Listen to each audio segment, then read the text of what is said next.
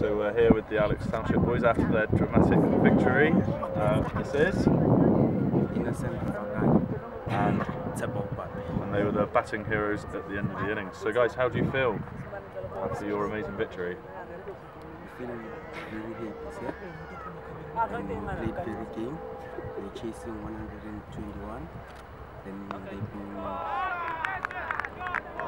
Yeah. Excellent, brilliant. How about very happy. Very happy, brilliant guys.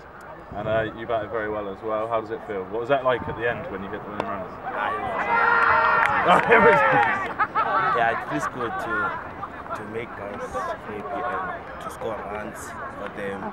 Chasing that 121 for us is too small, but we managed to get that total as quickly as we can so that we cannot get a lot of pressure. And then, Excellent. guys. And are you enjoying your time in London at the Last Man Stands World Champs? You having a good time? Yeah, we got. Brilliant. It's lovable. It's so nice. You like England? Yeah, yeah. And it's our first day. It's our first time in England. We love England. And you hope Then you we're gonna buy something for England.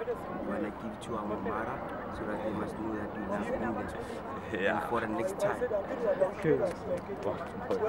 And uh, can you go all the way? Can you win? yes. Can you win the World Champs? yes, we have a strong team. And you'll be at Lords? Yeah.